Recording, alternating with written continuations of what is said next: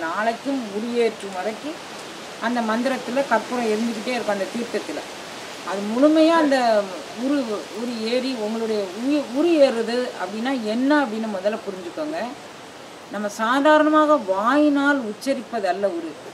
இந்த அம்மா பேசும்போது சொன்னாங்க பாருங்கள் எற்பு தொலைதரும் ஏற்றினன்னு சொல்லும்போதே அழுகுறாங்க. அவன் நமக்கு வந்து எ- எற்பு இந்த அருளமுதத்தை இறைவன் ஏற்ற காத்திருக்கிறான். நாம் அதை பெற்றுக்கொள்ள நமக்கு தகுதிப்படுத்திக் கொள்ள வேண்டும் அப்படின்னு நினைக்கிறதா உரியத்துதுங்கிறது உயிர் உணர்வு அப்படின்னு நம்மளுக்குள்ள ஒரு உணர்வு இருக்குது அந்த உயிர் உணர்வுனா என்ன அப்படின்னு கேட்டிங்கன்னா புலன் உணர்வு. இப்போ கண்ணில் யாராவது இடிச்சிட்டாங்கன்னா கண் வலிக்கும். அது புலன் உணர்வு.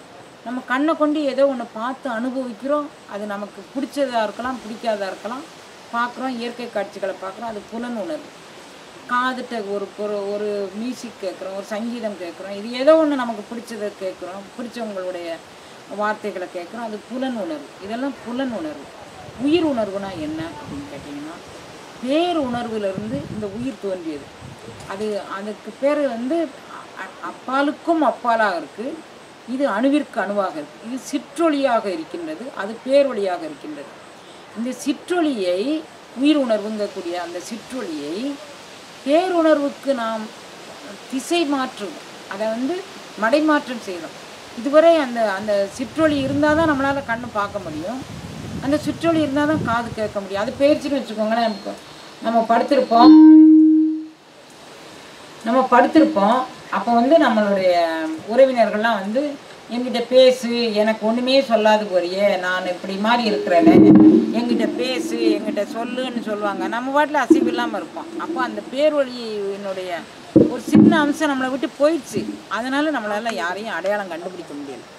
அப்போ நம்ம பாட்டில் அசைவு இல்லாமல் நம்ம இப்ப இருக்கோம் அந்த அந்த அந்த மாதிரி நம்ம ஆகுறதுக்கு முன்னால் இந்த உடம்பு இந்த உடல் இரண்டும் சேர்ந்து அதாவது இந்த உடலும் இந்த உயிரும் சேர்ந்து அனுபவிக்கக்கூடிய அனுபவம் தான் உயிர் அனுபவம் அப்படின்னு சொல்லி. இந்த உயிர் அனுபவத்தை பேர பேர் அனுபவமாக நம்ம பெற்றுக்கொள்ளணும். அப்போ அப் அணுவிற்கு அணுவாகவும் அப்பாலுக்கு அப்பாலாகவும் உள்ளது ஒரே ஒளி தான் அந்த ஒரு ஒளி அணுவாக சிறு உயிராக வருது. அப்பாலுக்கு அப்பாலாக பெரு ஒளியாக அது இருக்குது அந்த பேரொளியை நமக்குள்ளே பெற்றுக்கொள்வது அந்த தீட்சையினுடைய நோக்கம். அப்போ இந்த தீட்சையினால் வேறு நமக்கு என்ன கிடைக்கும் அப்படின்னு கேட்டிங்கன்னா இந்த தீட்சை வாங்கினவங்க என்ன செய்யணும் அப்படின்னா கூடுமானவரை முதல் நீள அகவல் பாக்கில் நாலு முறை படி ஒரு ஒரு முறை. அதாவது சிவபுராணம் அப்புறம் வந்து கீர்த்தி போற்றி கீர்த்தி திருவகவல் அப்புறம் அண்டப்பகுதி அப்புறம் போற்றி திருவகம் இது அகவல் பாக்கல்னு நீண்ட பாடலுக்கு பேர் அகவல் பாக்கல்னு பேர். அது நீண்ட பாடலாக இந்த நாலு பகுதி எடுத்துக்கலாம். அந்த நாலு பகுதியும் நீங்கள் ஒரு முறை உங்கள் உயிருணர்வை செலுத்தி படிங்க அதில். இந்த அருள் அனுபவம் எனக்கும் கிடைக்கணும். நான் இதை பெற்று அரு அருள் பெறணும் அப்படிங்கிற மாதிரி நீங்கள் வச்சுக்கோங்க. அப்படி வச்சுக்கிட்டீங்கன்னா இந்த உயிர்கள் என்ன குற்றம் செஞ்சாலும் நம்மளுக்கு மன்னிக்கணும்னு தோணிடும் இந்த உயிரோட இயல்பு அதை தான் நம்ம வாங்கி வந்தது விழணும் இது இந்த ரெண்டு கான்செப்ட் நமக்குள்ளே விழுந்துருதுன்னு வச்சுக்கோங்களேன். நமக்கு எப்பவும் கோபமே வராது. இந்த அவங்க நம்மளை மேலே கல்லே தூக்கி எறியட்டும். கண்டென்னா கண்ணை தூக்கி எறியட்டும். நமக்கு கோபம் வராது. ஏன்னா இந்த உயிரோட இயல்பு இவ்வளோதான் அப்படின்னு தெரிஞ்சிட்டோம். அதுக்கப்புறம் இன்னொருக்க நாம் இவ்வளோ உழைச்சி இவங்க நன்றியா இல்லை பார்த்தியா அப்படின்னு நம்ம நினைக்கிறோம்னு வச்சுக்கோங்க. நான் வந்து ஏதோ ஒரு கர்மா தேரிக்கு பிறந்திருக்கிறேன். அதை அனுபவிக்கிறது இவங்க மூலமாக அனுபவிக்க போகிறேன் அப்போ நான் வந்து இந்த அந்த உயிரோட இயல்பு அதுன்னு நினச்சா மன்னிச்சிடுவோம் நான் வாங்கி வந்தது இவ்வளவுதான். ஒரு வளமொழியே சொல்லுவாங்க யாராவது ஒரு நல்ல வசதியாக வாழ்ந்தானா என்ன சொல்லுவாங்க அவன் கொடுத்து வச்சான் அவன் போன பிறகுல வந்து அந்த புண்ணியத்தை கொடுத்துட்டு வந்திருக்கிறான். அதை இப்போ அனுபவிக்கிறான். அவன் கொடுத்து வச்சவன் அப்படின்னு. இப்போ நம்ம பார்த்தோன்னா நம்ம வாங்கி வந்திருக்கோம் அப்படிங்கிறது தான் உண்மை.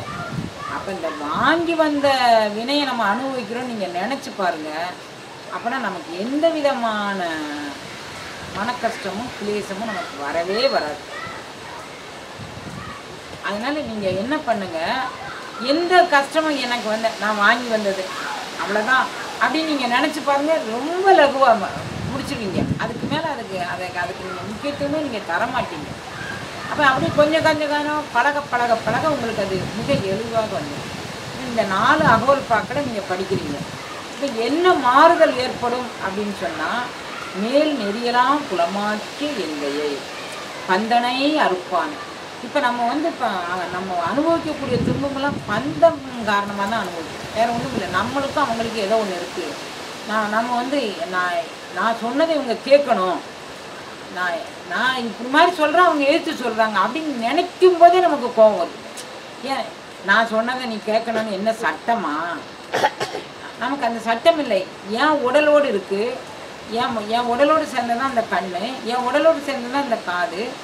ஏன் நான் போடுற தீனியை போட்டு தான் அதெல்லாம் வளருது. அதெல்லாம் கேட்குது நான் பத்து நாளைக்கு சாப்பாடு போடலன்னா காது கே கேட்காது.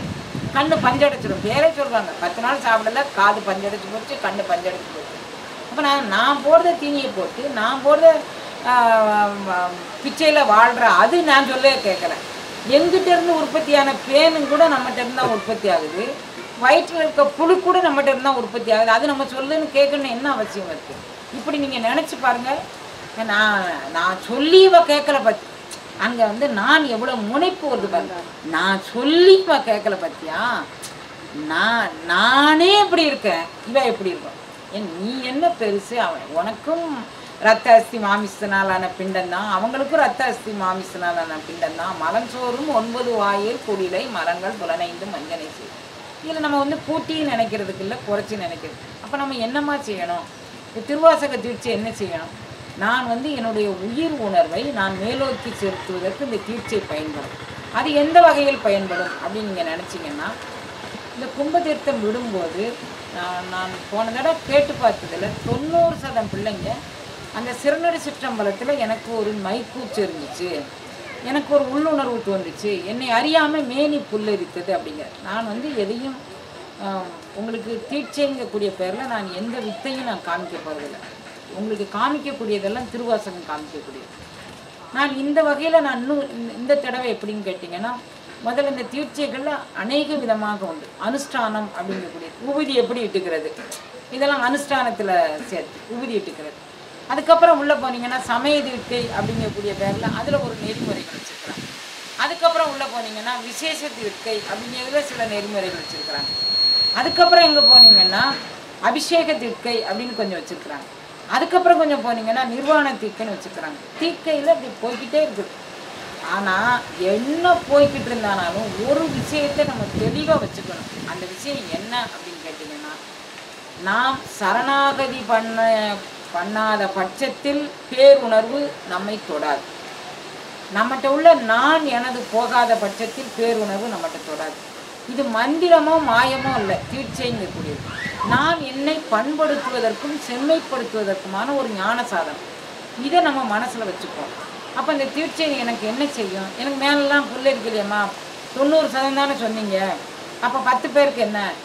அது வந்து வந்து பூமியை தோண்டிட்டீங்க விதையை போட்டுட்டீங்க. ஆமணக்கு விதை. ஆமணக்கு விதைன்னா விளக்கெண்ணன்னு சொல்லி ஒரு விதை வச்சு தயாரிப்பாங்க நம்ம ஏரியாவில் அதுக்கான விதைக்கு பேர் ஆமணக்குன்னு பேர். அந்த ஆமணக்கு விதையை இப்போ போட்டோன்னா இந்த சீசனில் போ போட்டோன்னா அது எப்போ முளைக்கும் அப்படின்னு அதுக்கு ஒரு விதி இருக்குது அதாவது இந்த ஆமணக்கு விதை ஏற்கனவே சித்திரை மாதம் ஆமணக்கு விதையை ஊனி வைப்பாங்க. ஆமணக்கு விதை வெடித்து பலன் தருவதற்கு ஐ ஆவணி புரட்டாசியில் முழுமையாக வெடித்து பலன் தந்துடும் ஆமணக்கை அறுவடை பண்ணிடுவாங்க. ஆனால் அதில் கொஞ்சம் முற்றிய விதைகள் வெயில் பட்டவுடனே டப் டப்புன்னு வெடிச்சிடும் வெடித்து தோட்டம் முழுதும் பரவிடும் அதுக்கடுத்து நெல் மகசூல் பயிர் விடுவாங்க. நெல் மகசூலில் ஆமணக்கு களையாக முளைக்கவே முளைக்கும் பூமிக்குள்ளே தான் கிடக்கும். தண்ணி உள்ளே தான் கிடக்கும். மணல் இருக்குது தண்ணி இருக்குது காற்று இருக்குது சூரிய வெப்பம் இருக்குது இதான் ஒரு செடி முளைக்கிறதுக்கான ஆதார ஆற்றல் இவ்வளோ தானே இது எவ்வளவு இருக்குது முளைக்காது.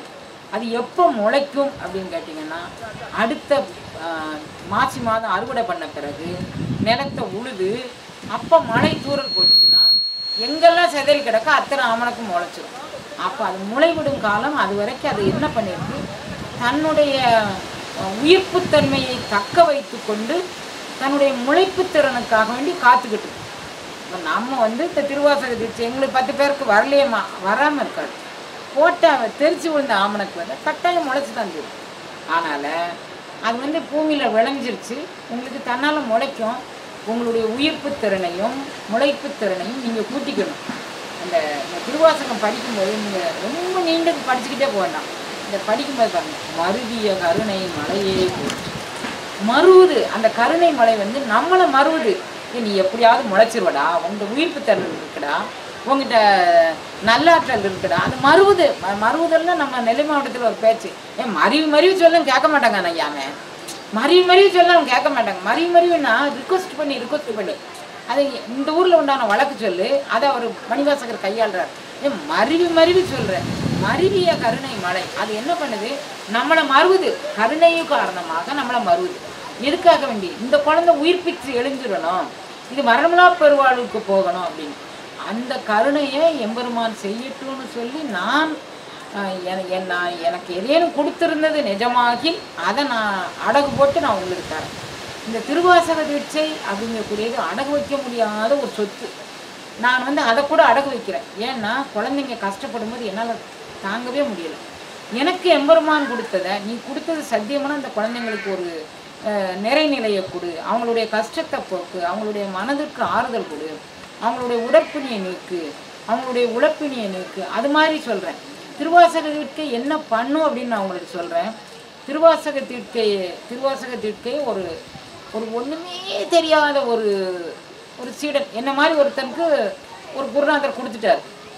திருவாசக தீட்சையை பெற்ற உடனே அவர் சொன்னார் லாபம் வரலாம் நஷ்டம் வரலாம் அது உயிரோட உயிரும் அது முன் பிறவியில் வந்த வாங்கி வந்த வினையின் வினையும் காரணமாக அதை அனுபவிக்கு. ஆனால் திருவாசக தீட்சை எதுக்காக வேண்டினாலும் யாருக்காக வேண்டினாலும் நீ அடகு போடாத. அதை காம்ப்ரமைஸ் பண்ணி உனக்கு நீ வாங்கின திருவாசக தீட்சையை மறந்துட. எப்படி விஸ்வாமித்திரர் வந்து அர்ச்சந்திரனுக்கு நீ ஒரு பொய் சொல்லு. நான் உனக்கு இந்த தண்டனையிலேருந்து விடுதலை பண்ணி கொடுத்துருந்தேன். அது மாதிரி ஒன்று உனக்கு எத்தனை ஆட்டம் போட்டு உனக்கு ஒரு சொத்து தரேன். உனக்கு அது தரேன் இது தரேன். எது சொன்னானாலும் நீ திருவாசக தீட்சையை மட்டும் நீ விட்டுரு நீ உனக்கு இது நான் தரேன் அது தரேன் இது தரேன். என்ன சொன்னானாலும் நீ அதை மட்டும் அடகு போடாத தம்பி. அப்படின்னா அப்படின்னா என்ன அடகு போடுறதுனாலும் என்ன எனக்கு என்னன்னு தெரியாது. திருவாசக தீட்சைனாலும் என்னன்னு தெரியாது. சரி குருநாதர் சொல்லிட்டார். அதை நம்ம அப்படியே வச்சுக்கலாம். அப்படின்னு சொல்லி அந்த சீடன் வாங்கிக்கிட்டான் வாங்கிட்டு அவனுக்கு கடைசி காலம் வந்துச்சு. அந்திம காலம் வந்தவொடனே அந்த திருவூரில் சிந்திச்சு இறைவன்கிட்ட போயிட்டான். இறைவன்கிட்ட அவன் போகும்போது திருவாசக தீட்சை பிரம்மதேவன் வாசல் திருவாசக தீட்சைக்கு எதுக்குமே அடகு போடாத இவன் வந்திருக்கான்னு இதை பிரம்மதேவன் எந்திரிச்சினான் இவனை பார்த்து உடனே இவன் கேட்டானா எதுக்கு என்னை பார்த்து எந்திரிச்சு நிற்கிறீங்க மீதி பேரெல்லாம் அடிமை மாதிரி இருக்கிறாங்க. கடவுள் வந்து நீ- வந்து இந்த பிரம்மா விஷ்ணு ருத்ரன்லாம் அறியாதவங்க வந்து இவன் சிவன் கீழானவன் அவன் மேலானவன் அப்படி சொல்கிறாங்க அப்படி இல்லை. ஒரே ஒரு சக்தி தான். அது பேரொழிப்புழம்பு அது அது பேரொழிப்புழம்பு அது செயலுக்கு வரும்போது அருட்சக்தியாக பரிணமிக்குது. அந்த அருட்சக்தி தனக்கு துணைக்கு எப்படி வந்து ஒரு சீஃப் மினிஸ்டர் ஒரு பிரைம் மினிஸ்டர் தனக்கு ஒரு மந்திரி பதவிக்கு ஒரு ஆட்களை தேர்ந்தெடுத்து வைக்கிறாங்களோ அது மாதிரி அந்த ஒரே பேரொழி புலம்பு இந்த உலக உற்பத்திக்காக வேண்டி ஒரு அருட்சக்தியை தோற்றுவிக்குது. அந்த அருட்சக்தி இந்த உலகம் நிலை பெற்று நிற்பதற்காக வேண்டி பிரம்மா விஷ்ணு ருத்ரன் மகேஸ்வரன் சதாசிவங்கக்கூடிய அந்த அருட்சக்தியிலிருந்து தான் நாதம் விந்து அப்படிங்கக்கூடிய இரண்டும் பிறக்குது. சிவங்கக்கூடிய பேரொழிலிருந்து அருட்சக்தி அதிலிருந்து நாத பிந்து பிறக்குது.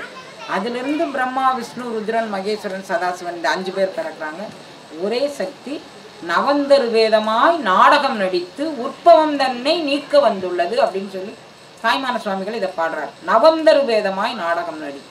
இந்த ஒன்பது வித பேதங்களும் அந்த ஒரே பேரொளியிலேருந்து வச்சிருக்கு. இனிமேல் யாராவது சிவம் பெருசா சக்தி பெருசா அப்படி இப்படின்னு சொல்ல சொல்லி கேட்டால் அதுலேருந்து வந்ததானே இவங்கெல்லாம்? இதில் பெருசு சிரிச்சுன்னு பார்க்கறதுக்கு என்ன இருக்குது அப்படி மாதிரி நீங்கள் உங்கள் மனோபாவத்தை ஏன்னா நமக்கு சைவ சித்தாந்தமும் தெரியலை திருமந்திரமும் தெரியலை எதுவுமே தெரியலை நமக்கு. அப்போ நம்ம வந்து இவங்க பெருசாக சிறுசா பெரு நான் என் உயிர் வளர்ச்சிக்காக வேண்டி நான் பிரயாசப்படணும். அதுதான் நான் செய்யக்கூடியது. அதுக்கு நீ என்ன பண்ணணும்? உன் உயிர் வளர்றதுக்கு கருணை. கருணையும் சிவமுமே பொருளென காணும் காட்சியும் பெருக. அவ்வளோதான் நம்ம செய்யணும். அப்போ அந்த கருணை காரணமாக நம்ம வந்து நம்ம அந்த க கருணையோடு நம்ம நடந்துக்கணும். அந்த கருணையை ஆடு மாடு கோழி குருவி எல்லாத்துட்டையும் காமிக்கணும். யார்கிட்டையும் பேதம் இல்லாமல் அந்த கருணையை காமிக்கணும். அவ்வளோதான் அதை அந்த கருணையை காட்டுவதற்கு இந்த திருவாசகம் செய்யும். அவனே பிரம்மாட்ட போய் காட்டவுடனே பிரம்மா சொன்னார் நீ திருவாசக தீட்சையை யாருக்கும் அ- அடக்கு போடலை. அதனால் நீ வந்திருக்கன்னு என்னை எந்திரிச்சு நிற்க சொல்லி எனக்கு பேருணர்வு சொல்லிச்சு அப்படின்னு. சரி அப்போ திருவாசக தீட்சையினுடைய மகிமை எனக்கு சொல்லுங்க அப்படின்னு. சரி எனக்கு தெரியாது. நான் போய் பிரம்மா போய் விஷ்ணுகிட்ட போய் கேட்பான். விஷ்ணு இவங்க ரெண்டு பேரும் கண்டோடனே எந்திரிச்சு நின்று வணங்கினார் உடனே ஏ- திருவாசக தீட்சையினுடைய மகிமை என்ன? எனக்கு தெரியாது திருவாசக தீட்சை வாங்கினவனை கூட்டிட்டு பிரம்மதேவன் வாரான்னு சொன்னாங்க. அதனால என்னை எந்திரிச்சு நிற்க சொல்லி பேருணர்வு சொல்லிச்சு. உடனே அவன் இவங்க அங்கேருந்து போயிட்டாங்க. பிரம்மா விஷ்ணுக்கு போயிட்டு ருத்ரன்கிட்ட போனான். ருத்ரன் வந்து எந்திரிச்சு நின்று கும்பிட்டான். ஐயா திருவாசக தீட்சையினுடைய மகிமை என்ன? இல்லை இல்லை எனக்கு தெரியாது. நீங்கள் வந்து நீங்கள் வாரீங்கன்னு திருவாசக தீட்சை வாங்கின ஒருத்தன் வாரான்னு சொன்னோடனே நான் எந்திரிச்சு நிற்கிறேன் சரி அதுக்கடுத்து என்ன? மகேஸ்வரன். அவனும் இதே மாதிரி. சதாசிவன். அவனும் இதே மாதிரி. சதாசிவனுக்கு மேலே அருட்சக்தி. அவங்களும் இதே மாதிரி. அதுக்கு பிறகு நாதம். அதுவும் இதே மாதிரி. விந்து. அதுவும் இதே மாதிரி. சிவத்திட்ட போனாங்க பேரொழிட்ட போயிட்டாங்க அந்த பேரொழி தானே இவ்வளவாக இருக்குது? அந்த பேரொழிட்ட போன உடனே இவங்களுக்கு தெரியலையாடா? நவந்தர் வேதமாக நடித்த நான் வந்து ஏழு எட்டு பேரை கூட்டிட்டு இங்கே வந்திருக்கீங்களா? அப்போ திருவாசக மகிமை பற்றி தெரியல. எல்லாரும் உட்கார கூட இல்லை. எந்த எல்லாரும் அவனை கண்டவனே எந்திக்கிறீங்க. அப்போ எவ்வளோ பெரிய மகத்துவம் வாய்ந்ததாக இருக்கும் திருவாசகத்திற்கு. ஒரு உயிரை படிநிலை வளர்ச்சியாக கொண்டுட்டு போய் அந்த பேரொழி விலைக்கு அந்த திருவாசக தீர்ச்சி அழைச்சிட்டு போயிருக்கு பாருங்க. யார் கூட? பிரம்மா விஷ்ணு ருத்ரன் மகேஸ்வரன் சதாசிவன் அருட்சக்தி விந்து நா நாதம் விந்து ஒளி. இவ்வளவுக்கு கூட்டிகிட்டு போயிடுச்சு பாருங்கள் நம்மளை அப்படி கூட்டிகிட்டு போகும். இதை நீங்கள் முதல்ல மனசில் வச்சுக்கோங்க. இரண்டாவது இந்த திருவாசகம் என்ன பண்ணும் அப்படின்னு கேட்டால் நமக்கு இரண்டு கண்களும் ஒரு கண் மலர்னு அதுக்கு பேர். கண்ணுக்கு பேர் என்ன? கண் மலர்னு பேர். இப்போ சுவாமி கோயில்களில் கண்ணுக்கு வெள்ளினால தங்கத்தினாலெல்லாம் அடித்து வைப்பாங்க. அதுக்கு அவங்க சொல்கிறது கண்மலர் அடித்து வைக்கிறது அப்படின்னு தான் சொல்லுவாங்க. அப்போ மலர்ங்கிறது. இதே வந்து ஆயிரம் பூவினில் ஒரு பூ குறைய தன் கண்ணிடந்து அப்பினான்னு மகாவிஷ்ணுவை சொல்கிறாங்க அப்போ கண் மலருக்கு மலரோடு கண்ணை வச்சு சொல்கிறாங்க அப்படின்னா இந்த கண்ணில் ஒரு ஞான ஒளி நமக்கு இருக்கு. அந்த ஞான ஒளி இது வந்து இப்போ நம்ம பார்க்குறதெல்லாம் ஊன ஒளி. இந்த ஊன் ஒளி கொண்டு நம்ம வந்து எதையும் பார்க்கவோ கேட்கவோ முடியாது. ஞான ஒளி கொண்டு தான் நம்ம பார்க்க முடியும். ஊன் ஒளி கொண்டு எதை பார்க்க முடியும்? இந்த உலகத்தில் உண்டான எல்லா சிருஷ்டிகளையும் பார்க்கலாம். அந்த உணர்வு ஒளி கொண்டு பார்க்கக்கூடியது இந்த ஞான ஒளி கொண்டு பார்க்க முடியும். அப்போ அந்த அந்த ஞான ஒளியை முறையாக எப்படி இருக்கும் நான் நாளைக்கு எல்லாருக்கும் அது மாதிரி ஒரு நூறு பேருக்கும் என்னால் அது செய்ய முடியாது. இப்போ நான் உங்களுக்கு ஒரு ஒரு ஆளுக்கும் ஒரு மலர் கொண்டு உங்கள் கும்பத்திற்கு உங்களுக்கு வரக்கூடிய அந்த கும்ப அதை முக்கி உங்கள் ரெண்டு கண்ணிலையும் நான் அதை ஒத்தி வச்சு உங்கள் உச்சந்தலையிலையும் நான் தொட்டு விடுறேன். ஆனால் அது எப்படி இருக்குது அப்படின்னா திருமூல திருமந்திரத்தில் சொல்கிறார் மூன்று ம மடக்காக நம்ம உடம்புல அந்த ஞான ஒளி பாயுது. இதை வந்து அவை அவையார் வந்து தன்னுடைய காரியசித்தி மாலை அப்படிங்கக்கூடிய பகுதியில் அந்த அம்மா விளக்கியிருக்கிறாங்க.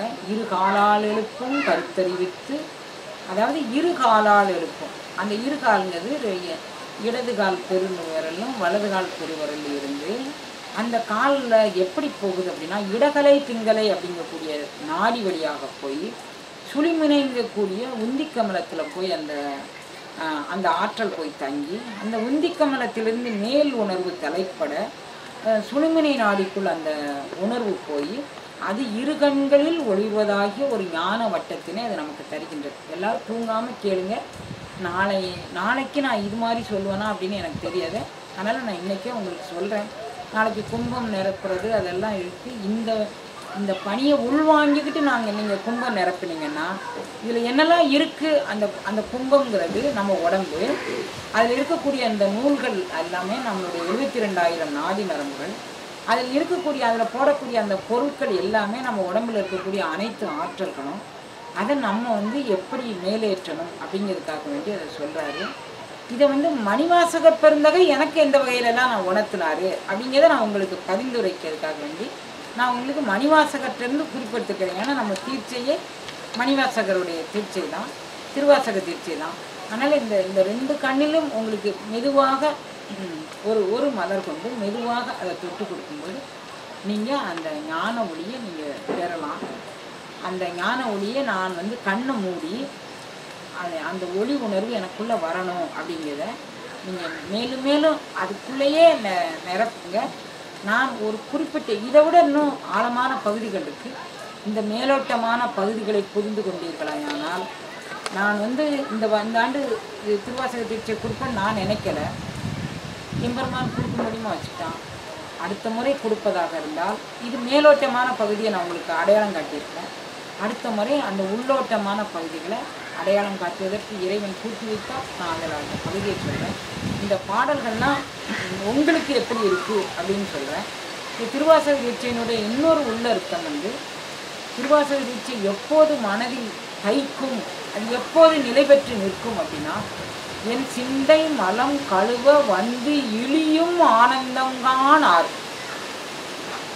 நம்மளுடைய அந்த திருவாசக தீட்சை நம்மளுக்கு என்ன வரும் அப்படின்னா நம்மளுடைய சிந்தையில் உள்ள மலங்களை அது நமக்கு சிந்தையில் மன நான் ரொம்ப மனமொழிமைகளால் சுத்தமானவங்கன்னு நம்ம சொல்கிறேனே தவிர யாரை பார்த்து பொறாமப்படுறோம் யாரை பார்த்து கோபப்படுறோம் இதுக்கு நமக்கு நம்ம பொறாமப்படுறதுல என்ன இருக்கா? அவன் சம்பாதிக்கிறான் அவன் வாங்குறான் அவன் அவன் விதி வாங்கி வந்திருக்கான் அவன் அனுபவிக்கிறான்.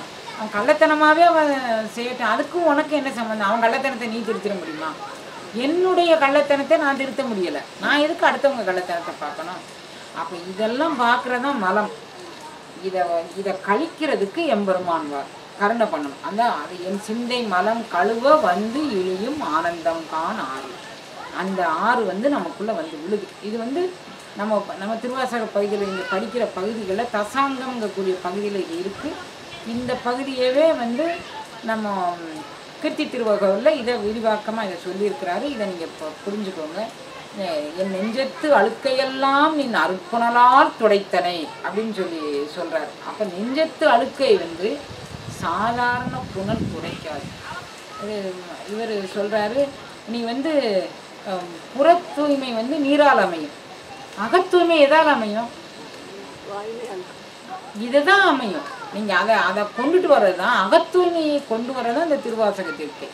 அப்போ அதை புரிஞ்சுக்கோங்க. அப்போ சாதாரண புனல் கொண்டு வீடு வாசலை பெருக்குமார் போட்டு பெருக்கிற மாதிரி பெருக்கி துவைக்க முடியாத இடம் நம்மளுடைய சிந்தை. அப்போ அதை யார் துவைச்சு கழுக முடியும் அப்படின்னா பேர் உணர்வு தான் துவைச்சு கழுக்க முடியும். அவர்கிட்ட நம்ம ஒப்பு கொடுத்துட்டோம்னா அவன் அழுக்கான பிள்ளையா வச்சுக்க விரும்பவே மாட்டான் நம்மளை. நம்ம அவன் நான் நீ என்னுடைய தாய் என்னுடைய தகப்பன் எந்தாய் அப்படிங்கக்கூடிய தாயும் தகப்பனுமாய் இருக்கக்கூடிய ஒரு மதத்தை சொல்கிறாரு எந்தாய் அப்படின்னு. அவன் எந்தாய்? நமக்கு தாயும் தகப்பரமாக இருந்து அவன் அருள் பாலிக்கிறான். அந்த தாயும் தகப்பனுமானவன் நமக்கு வந்து வேண்டிய கருணையை செய்ய காத்திருக்கிறான். அந்த கருணையை பெற்றுக்கொண்டு நாம் உறுதிக்கான வழியை பெறுவோம். அதை அந்த மலம் கழுவ வந்து இழியும் ஆனந்தம் தான் இந்த திருவாசக தீர்ச்சியினுடைய நுட்பம். திருவாசக தீர்ச்சியை பற்றி மணிவாசகர் அந்த கண்ணில் ஒளிவதான ஞான ஒளி என்ன சொல்கிறார் அப்படின்னா தேவருமதியா சிவனே காண்க. யாவ ஆ பெண் நான் அலியனும் வெற்றியன் காண்க. கண்ணால் யானும் கண்டேன் அவர் சொல்றாரு முதல்ல என்ன சொல்லிட்டாரு? கண் முதல் புலனால் காட்சியும் உள்ளம் அஞ்சு புலனையும் கொண்டு நீ பார்க்க முடியாதுங்கிறாரு. அப்போ இந்த இடத்துல நான் கண்ணால் யானும் கண்டேன் காண்கன்னா என்ன கண்ணை கொண்டு காணாரு இந்த ஊனக்கண் கொண்டு அவர் காணலை.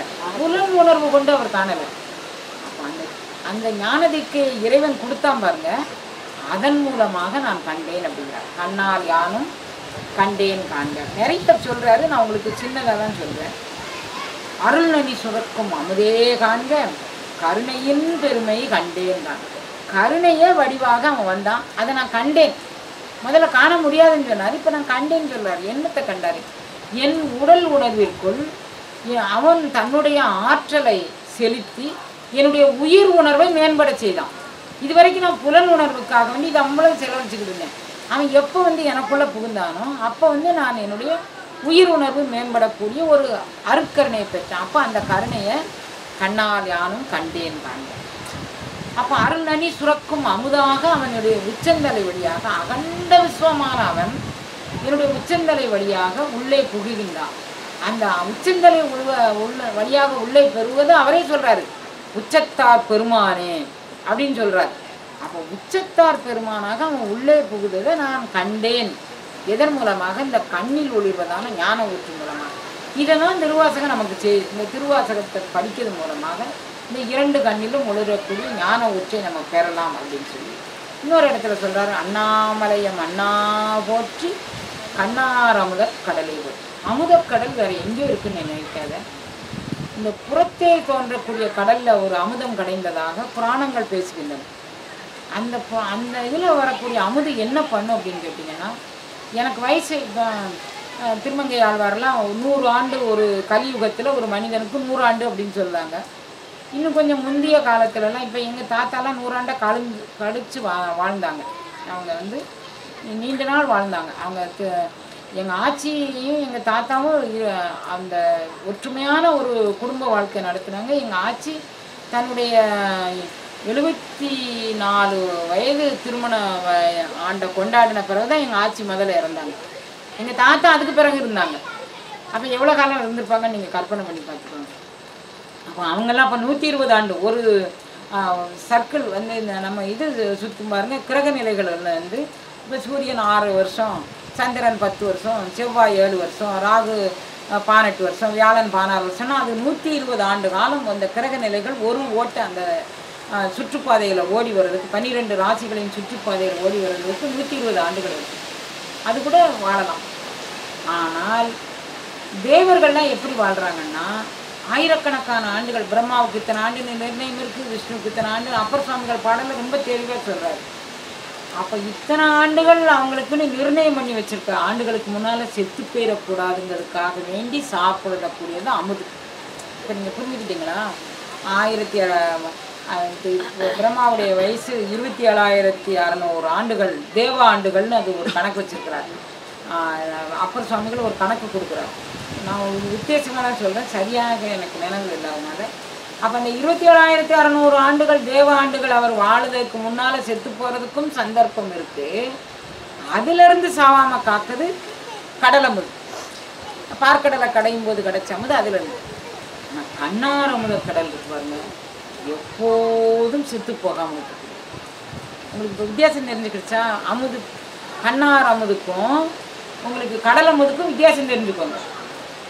அப்போ இந்த கண்ணார் அமுது அதை அதை வந்து நீங்கள் பெறணும்னு மணிவாசகர் விரும்புகிறாரு இப்போ நான் நினச்சி இது நடக்கக்கூடிய காரியம் இல்லை. கற்பனை பண்ணி பாருங்க. எத்தனையோ ஆயிரக்கணக்கான மக்கள் லட்சக்கணக்கான மக்கள் கூடின கூட்டம் இருக்கு. நான் ஒன்றுக்கும் பத்தாதவா? ஆயினேன் நான் நாயினும் கடையேன் ஈயினும் விழுந்தேன் ஆயினும் அருளி அருட்பெருஞ்சோதி அப்படிங்கிறார். எனக்கு நீங்களாம் சொல்லும்போது எனக்கே தமாசா இருக்கு. நான் நீங்கள் எழுதிய புஸ்தகத்தை நானே படிப்பேன். என் பேச்சை நானே கேட்பேன். அது ஏன்னா அது என்னால் பேசப்பட்டதில்லை. நான் சொல்லும் வார்த்தையெல்லாம் நாயகன் தன் வார்த்தை நம்புமின் அமரங்கால் ஏன் உரைத்தேன் இரக்கத்தால் எடுத்துரைத்தேன். என்ன கருவியாக பயன்படுத்தி கொண்டு உயிரிறக்கம் காரணமாக பேரருள் அது உணர்த்துகின்றது அதை நான் கேட்குறேன். நீங்கள் எப்படி புதுசாக கேட்குறீங்களோ அது மாதிரி நானும் புதுசாக கேட்குறேன். நான் வந்து என் பேச்சை டெய்லி கேட்டுட்டு தான் படுப்பேன். ஒரு மணி நேரம் ரெண்டு மணி நேரம் கூட கேட்பேன். அதனால் நான் வந்து ஏதோ உங்களுக்கு புதுசாக சொல்கிறேன்னு நீங்கள் நினைக்காதீங்க இது இல்லை.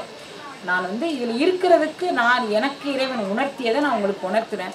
நீங்களும் நூறு பேருக்கு உணர்த்துங்க ஆயிரம் பேருக்கு உணர்த்துங்க. இந்த இந்த திருவாசக தீட்சை அதாவது நம்ம யூடியூப் மூலமாக பரிச்சயமான ஒரு அன்பர் சாகுல் ஹமீத் அவர்கள் அப்படின்னு பேர். அவர் நாகர்கோயிலை சேர்ந்தவர் ஆசிரியர். அவர் வந்து இது இதை இந்த தாய்மான சுவாமிகளால் அவர் கவரப்பட்டவர். அவர் இந்த கண்ணொளி தீட்சை பெற்றவர். அவர் அந்த கண்ணொளி தீட்சையை பற்றி நான் தாய்மான சுவாமிகள் பதிவில் பதிவு பண்ணதை பார்த்து என்னை வந்து பார்க்க வந்தார். இந்த நிகழ்வுக்கு வரையமான்னு சொன்னார். இங்கே ஏற்கனவே ரோடு ரொம்ப சீனமாக இருக்குது அவருக்கு எழுபத்தேழு வயசு ஆகுது அதில் வேற அவரை கூட்டிகிட்டு வரணுமா அப்படிங்கிறதுக்காக வேண்டி நான் நான் இன்னொரு தடவை முற்றுவதற்கு உங்களை கூப்பிடுறேன்ப்பா. நீங்கள் இருங்கப்பா அப்படின்னு சொல்லி சொல்லிட்டேன். நீ போய் என்னம்மா பண்ணுவ அப்படின்னு சொல்லி கேட்டார். இப்படி திருவாசக தீட்சைன்னு ஒரு தீட்சை கொடுக்க போகிறேன்ப்பா அப்படின்னு சொன்னேன். அதுக்கு என்ன செய்வீங்க அப்படின்னாரு.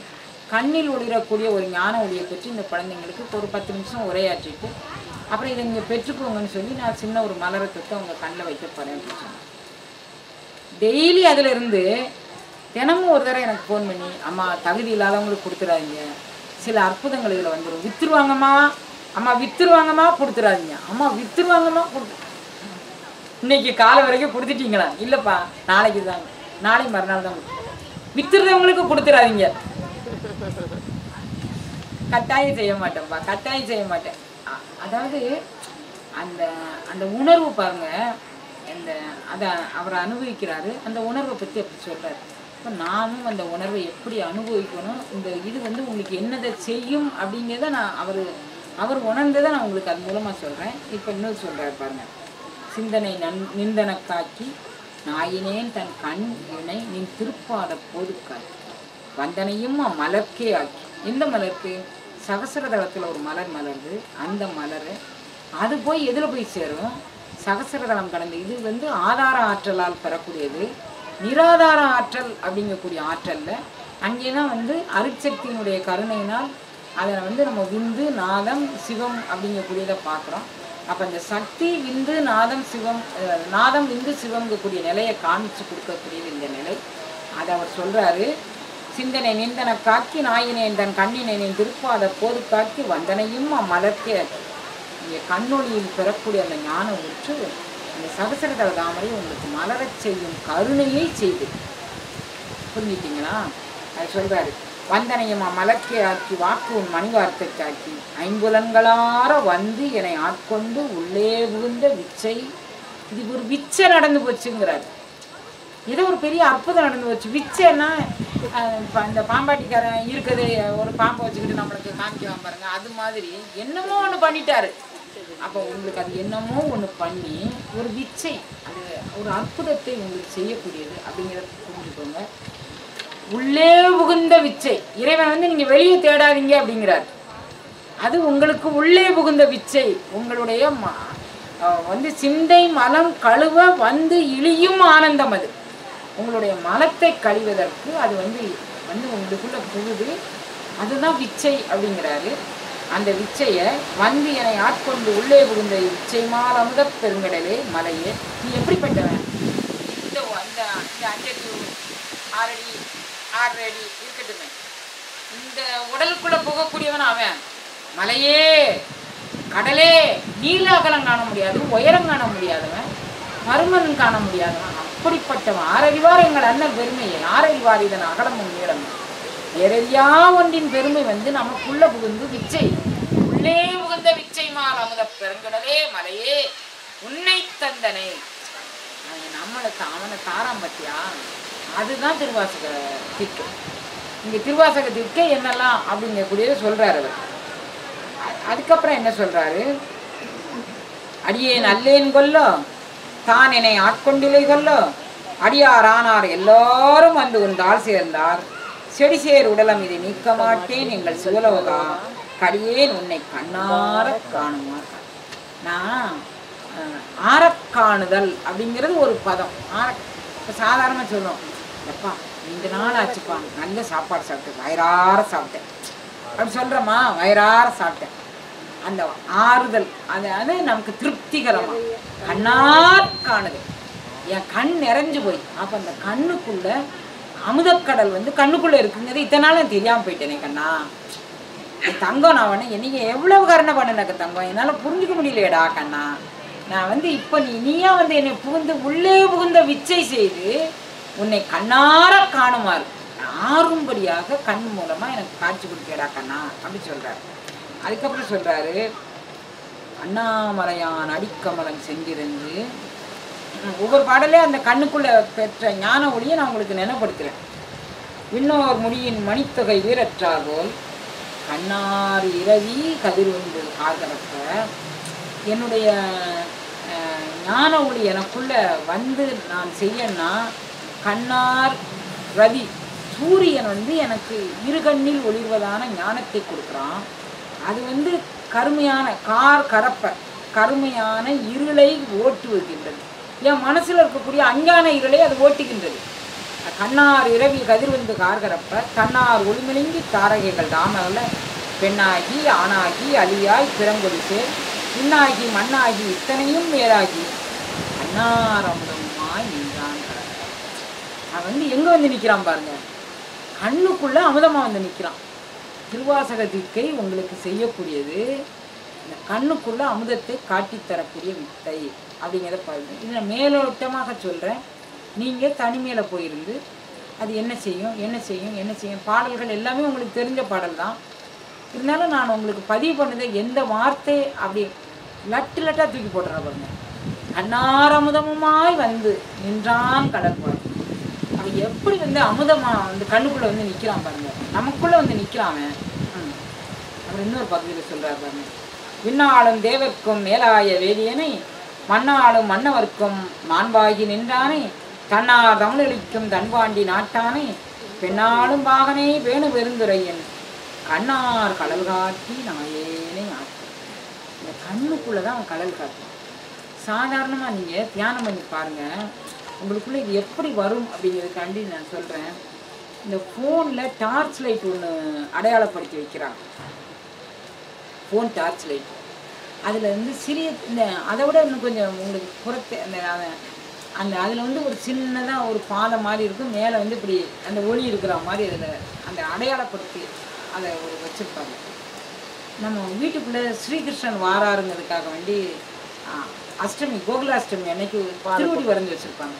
நீங்கள் தியானம் பண்ண பண்ண உங்கள் கண்ணுக்குள்ளேயே இந்த திருவடி வந்து உங்களுக்கு தெரியும். இது தவிர உங்களுக்கு வேற என்ன தெரியும்? கண்ணுக்குள்ளே தெரியுதுங்காட்டி உங்களுக்கு வேறு என்ன தெரியும் அப்படின்னு கேட்டிங்கன்னா இந்த கண்ணொளியை இந்த ஞான ஒளியை ஒளிமயமாக பிரகாசித்து உங்களுக்கு அமுத ஒளியாக இது தெரியும் அப்போ இந்த இந்த இதை கா சொல்லிட்டு கண்ணார் கடல் காட்டி நாயேனை ஆட்கொண்ட அண்ணாமலையானே அண்ணாமலைங்கிறது நம்ம நம்மளுடைய உடல்லே பெரிய இடமாக அது விளங்குது அப்படின்னு சொல்லி. பின்னோர் முழுமுதல் பாதாளத்தார் விற்று மன்னோர் மருந்து அயன் மால் உடை வைப்பு கண்ணார வந்து நின்றான். அவன் எனக்குள்ள எப்படி வந்து நின்றான். இவங்களுக்கெல்லாம் கிடைக்காதவன். எனக்கு கண் ஆறும்படியாக வந்து நிற்கின்றான். விண்ணகத்தேவரும் நன்னவும் மாட்டா விழுப்பொருளே உன் தொழும்படியோங்கள் மன்னகத்தே நின்று வாழச் செய்தானே வன் திருப்பெருந்துரையாய் வழியடியோம் கண்ணகத்தே நின்று கழிகிறதேனே எந்த இடத்துலலாம் அவர் சொல்லி காமிக்கிறார் பாருங்க. நம்மளை கூட்டிட்டு போறது இங்கே இந்த இடத்துல அவர் இருக்கிறாருப்பா இந்த இடத்துல இருக்கிறாரு நீங்க அங்க கவனம் செலுத்துங்க. அவனை கவனம் நான் தான் நான் வந்து என்னை தந்துட்டேனே. உன்னை தந்தனை செந்தாமரை காடனையுமேனி தனிச்சுடருங்கிற அவரை தந்துட்டாரு. அப்ப அவர் எந்த இடத்துல இருக்கிறாருன்னு நமக்கு அடையாளப்படுத்தி காமிக்கிறாரு. அவருடைய அட்ரஸ் நமக்கு சொல்றாரு.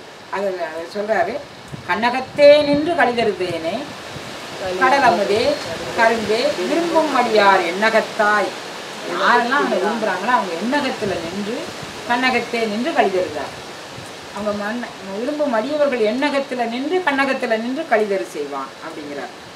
இன்னொரு இடத்துல சொல்கிறார் கண்ணார் முதலோய் கடலினைகள் கண்டேன் கண்கள் கழிகூற எண்ணாது இரவும் பகலும் நாயன் நான் அவையே எண்ணும் அது அல்லால் மண்மேல் ஆக்க விடுமாறும் வந்து உன் கலக்கே புகுமாறும் அண்ணா எண்ணக்கடவேன் அடிமை சால அழகுடைத்தேன்.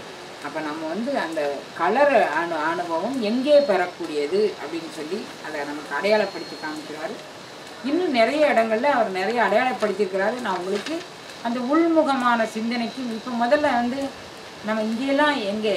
அவர் நான் வந்து ஊர் உலகம் எல்லாம் சென்று தேடினேன் அப்புறம் என் சிந்தைக்குள்ளே இருக்கிறான்னு கண்டுபிடிச்சேன். தந்தது உந்தன்னை கொண்டது எந்தன்னை நான் வந்து ஆமாம் நான் தான் இப்போ உன்னை பெற்றுக்கிட்டேன்னு சொல்கிறாரு அது எந்தெந்த இடத்துலலாம் அவர் நின்று அருள் பாலிக்கிறார் அப்படிங்கக்கூடியதை நான் சொல்லிட்டேன்னா அப்புறம் உங்களுக்கு ஐயோ நம்ம இதெல்லாம் இங்கே நினச்சோம் இங்கே நினச்சோம். திடீர்னு இந்த அம்மா நம்மளை குழப்புறாங்களே அப்படி கொண்டுட்டு போகக்கூடாது. கொஞ்சம் கொஞ்சமாக அப்படியே கையை பிடிச்சிங்க வாடா கண்ணா இங்கே வாடா கண்ணா அப்படியே தட்டி கொடுத்து தட்டி கொடுத்து அப்படியே கூட்டிகிட்டு போகணும். ஏம்மா நான் ரொம்ப தப்பு செஞ்சுட்டு எனக்கு அழுகையாக வருது போடா. மாணிக்க வாசகர் சொல்கிறாரு போதை என்று என்னை புரிந்து நோக்க தப்பு செய்தியா? அப்போ இதுக்கு மேலே அந்த தப்பை செய்யாது. செஞ்சிட்ட தப்பு முடிஞ்சு போச்சு. நான் செஞ்ச போது எம்பெருமான்கிட்ட போய் நின்னேன். அவன் என்னை பார்த்தான். போதை என்று என்னை புரிந்து நோக்கி போடா இவ்வளோதான் இதுக்கு மேலே அதுக்கு மேலே தான் தப்பு செய்யாடா வாடா நான் கூட்டிகிட்டு போகிறேன் அப்படின்னு சொல்லி கூட்டிகிட்டு போகிறாரு பாருங்க. அந்த மாதிரி தட்டி கொடுத்து நான் தப்பு செஞ்சுட்டேன் அப்படின்னு நம்மளை உணர வச்சு அதுக்கப்புறம் அந்த தப்பை செய்யாமல் திருத்தி காமிக்க தான் திருவாசக தீட்சையினுடைய இலக்கு. அதுக்கப்புறம் சொல்கிறாரு வினைக்கேடரும் உளரோ பிறர் சொல்லி என்ன மாதிரி வினைக்கேடர் யாராவது உண்டா? பிறத்தியார் யாரேன்னு இருக்காங்க வினைக்கேடரும் உளரோ பிறர். வேற யார் என்ன மாதிரி வினை உடையவர் இருக்கான் யாருமே இல்லை. வியனுலகில் என எனைத்தான் புகுந்தாண்ட. இந்த உலகத்துல வியனுலகில் என வினைக்கேடர் என்ன போல எவனும் கிடையாது. ஆனா என்னையும் புகுந்து ஆண்டான். எனைத்தான் புகுந்து ஆண்டான். எங்க புகுந்தான்? என் என் உடலுக்குள்ள புகுந்தான். என்னுடைய உணர்வுக்குள்ள புகுந்தான். என்னை வந்து அவன் அவனுடைய இருப்பிடம் எதுன்னு அடையாளப்படுத்தி புகுந்தான். அதுதான் அவர் எங்கேயோ இறைவன் இருக்குன்னு நினைக்காதீங்க தங்கங்களா. அங்க வாங்கடா. நான் உங்களுக்கு அடையாளம் காட்டுறேன். கையை பிடிச்சு கூட்டி போறாரு. நமக்கு நாங்க எத்தனையோ தடவை இதை படிக்கிறோம். ஓ வியனுலகில் வினைக்கேடரும் வினைப்போல் யாரும் இல்லையே. அவன் வந்து என்னை எனக்குள்ள எப்படி புகுந்தான்? எனைத்தான் புகுந்து ஆண்டான். எனது என்பின் குறையுருக்கி பிணைத்தான் புகுந்து எல்லே பெருந்துரையான். பெருந்துரை உரை பெம்மான் அப்போ அவன் புகுந்த இடம் எது அப்படிங்கக்கூடியதை இந்த இடத்துல அடையாளப்படுத்தி காமிக்கிறாரு. என் கண் கண்ணகத்தான் அப்படின்னு சொல்லி அடையாளப்படுத்தி காமிக்கிறார். மனத்தான் கண்ணின் அகத்தான் மறுமாற்றத்திடையார் அவன் வேற எங்கேயும் இல்லைடா. நமக்கு அடையாளப்படுத்துகிறான் மறுமாற்றத்திடை. அவனுக்கு அந்த வேற வேற இடம் கிடையாது. மனத்தான் கண்ணின் அகத்தான். இங்கே தான்ப்பா இருக்கிறான். இங்கே இங்கே பார்த்துக்கோங்க அப்படி சொல்கிறார் இதை காமிக்கிறதா திருவாசக தீர்ச்சி திருவாசக தீர்ச்சியை நாங்கள் பண்ணிட்டு என்னம்மா பண்ணணும்? இங்கே ஒன்றுமே பண்ண வேண்டாம்.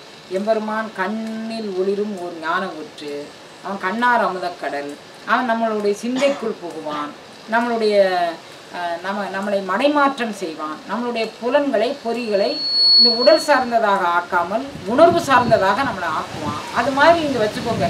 வேறு எதுவுமே நம்ம செய்ய வேண்டாம் அப்படின்னு சொல்கிறார் அதுக்கப்புறம் சொல்கிறாரு பண்ணார்ந்த மொழி பங்கா நீ நாளானார்க்கு உண்ணார்ந்த அறமுதே உடையானே அடியேன்.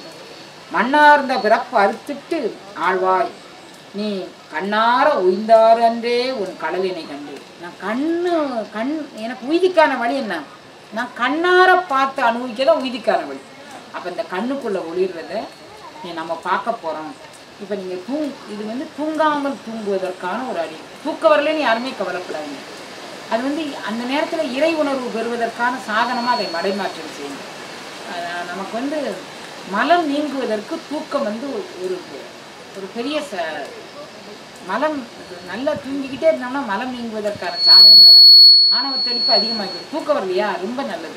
ப்ரெஷர் சுகர் இருக்கு எனக்கு தூக்கம் வரல அப்படின்னு இருக்கேன் இந்த அருள் அனுபவம் பெறுவதற்கான ஒரு கருவியாக இதை வச்சுக்கோங்க.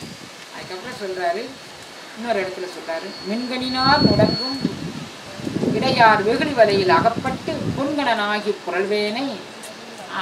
இந்த அம்மா கேட்டாங்க ஏன் அவரே பிரம்மச்சரி. அவர் எதுக்குமா மின்கணினார் இடையில அகப்பட்டுக்கிட்டு அவர் எதுக்குமா திரிகிறாரு அவர் ஏமா அப்படி படிக்கிறாரு? அப்படின்னு. இல்லை உயிருள் யாம் எம்முள் உயிர்? இவை உணர்ந்து உயிர் நலம் பரவுவேன்னு உரைத்த மீச்சுவமே நமக்காண்டி அவர் சொல்றாரு. நம்மளாம் அப்படி இருந்தால் கவலைப்படாதீங்கடா. மின்கணினார் முடங்கிடையார் வெ- வெகுளி வரையில் அகப்பட்டு நீங்கள் தெரியலாம் தப்பு இல்லை கண்ணு அது உயிரோட இயல்பு. அது அந்த இந்த இந்த உடல் எடுத்ததனுடைய காரியப்படாது. அதுக்காண்டி நீங்கள் அங்கேயே நிற்கணும்னு அவசியம் கிடையாது. அது சொல்றாரு. மின்கணினார் முடங்கும் இடையார் வெகுளி வலையில் அகப்பட்டு புன்கணனாய் புரள்வேனை புரளாம். இந்த கண் வந்து ஞான ஊற்றை பெறக்கூடிய கண்ணுங்கிறது யாருக்குமே தெரியலையே. எல்லாரும் புன்கண்ணால வச்சிருக்காங்க. புண் என்ன செய்யும்? தொட்ட உடனே வலிக்கும். கண்ணில் தொட்டாலும் வலிக்கும். நீ வந்து கண்ணில் தொட்டால் ஞானம் வர்றதுக்கெல்லாம் நீ வைக்கணும். நீ கண்ணில் தொட்டால் வலிக்கிற மாதிரி தானே வச்சுருக்குற. புண்ணை தொட்டால் எப்படி வலிக்குமோ அது மாதிரி கண்ணை தொட்டால் வலிக்கிற மாதிரி வச்சிருக்கிற. அப்போ அது சொல்கிறாரு புன்கணனாய் திருவேனை புரளாமல் காத்து புகுந்து அருளி என் அமுதூரி தித்தித்து என் விளக்கி இறங்கும். என் கண்ணிலே அமுதூரி தித்தித்து என் விளக்கி இறங்கும். அங்கணனே உடையாய் அடியே உன் அடைக்கலமே. அப்போ நம்ம வந்து திருவாசக தீட்சியினுடைய பலன் என்ன அப்படின்னு கேட்டுக்கிட்டீங்கன்னா அழுக்கு மனத்து அடியை மனத்தை திருத்துவது திருவாசகத்தினுடைய தீட்சையினுடைய இது. நெஞ்சத்து அழுக்கையெல்லாம் அருட்புணலால் கழுவக்கூடியது திருவாசக நம்மளுடைய வஞ்ச புலன்களை மடைமாற்றம் செய்வது திருவாசகம் திருவாசகம் எல்லாருமே வந்து மார்க்கெட்டிங் பண்ணக்கூடியவங்க எல்லாரும் வந்து என் என் பொருளில் இவ்வளோ லாபம் இருக்குது அவ்வளோ லாபம் இருக்குது அவங்ககிட்ட இல்லாத இருக்குது இவங்ககிட்ட இல்லாத இருக்குது இவங்ககிட்ட இல்லாத இருக்குது என் பொருள் தான் உண்மையான பொருள்னு தான் மார்க்கெட்டிங் பண்ணுறாங்க மாணிக்க வாசகர் தான் அந்த மார்க்கெட்டிங்க்கு முதல் ஆள். அவர் சொல்கிறாரு ஆமாம் மார்க்கெட்டிங் பண்ணுற முதல் ஆள் மணிவாசகர் தான். வேறு யாருமே மார்க்கெட்டிங் பண்ணலை. அவர் சொல்கிறாரு ஏய் நான் உன்னை திருவாசகத்தை படிக்க கூப்பிட்றேன்டாங்க வா. உனக்கு அது என்னெல்லாம் செய்யும்? அப்படின்னு சொல்லி அப்படி அப்படின்னு சொல்லி காமிக்கிறார். சிந்தை மலம் கழுவும். அது உன்னை உன்னுடைய சிந்தை மலம் கழுவும். வேற என்ன செய்யும்? அவனை பெற்றுத்தரும் வேற என்ன செய்யும்? முந்தை வினை முழுதும் ஓய உரைக்கும். வேற என்ன செய்யும்? நெஞ்சில் வஞ்சம் கெடும். வேற என்ன செய்யும்? பொய்யாயினவெல்லாம் போய் அகலச் செய்யும். வேற என்ன செய்யும்?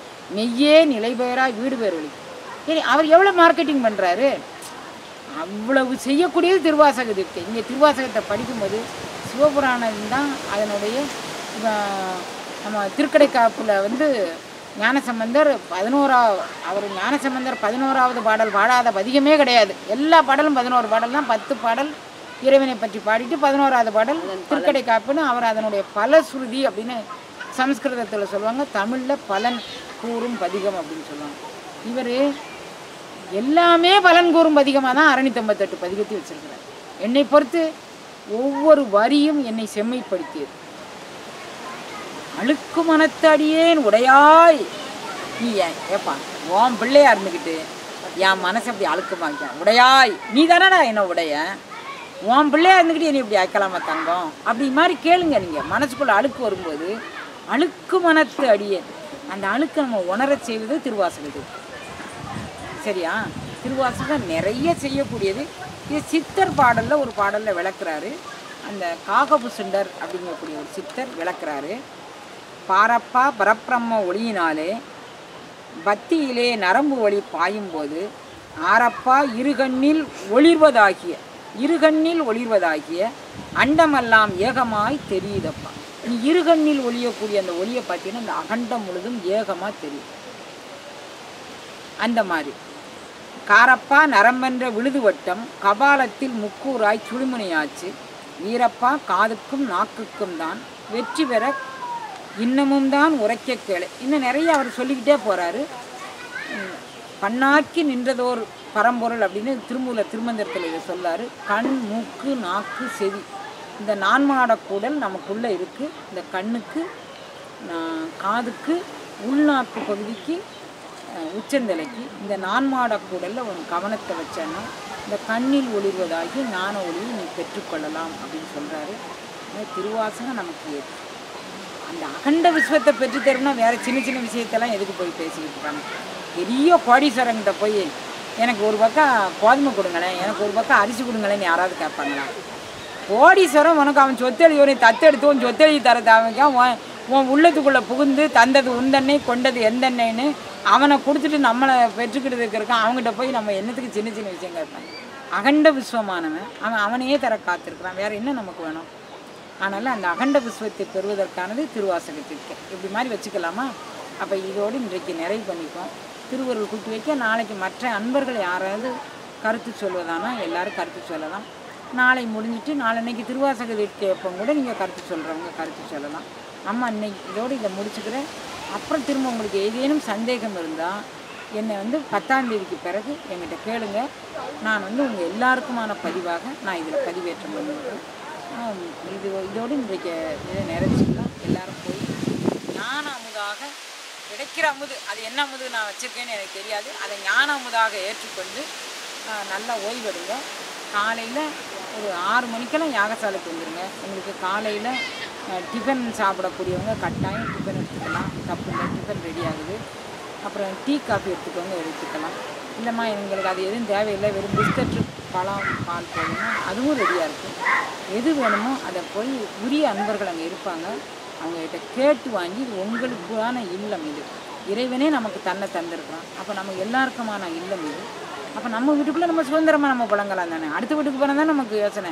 இது இறைவனுடைய இல்லம். அதனால் இங்கே எல்லோரும் உங்களுக்கு தேவையானதை சாப்பிட்டு யாகசாலைக்கு வந்துடுங்க யாகசாலையில் நாளைக்கு மிக அற்புதமான மந்திர வழிபாட்டோடு யாகம் தொடங்குகிறோம் அதையெல்லாம் நான் நாளைக்கு யாகசாலையில் இருக்கும்போது என்ன செய்யணும் அப்படிங்கிறத உங்களுக்கு சொல்கிறேன் சரியா? அரக நம்ம பார்வதி பதையே ஹர மகாதேவா. அருட்பெரும்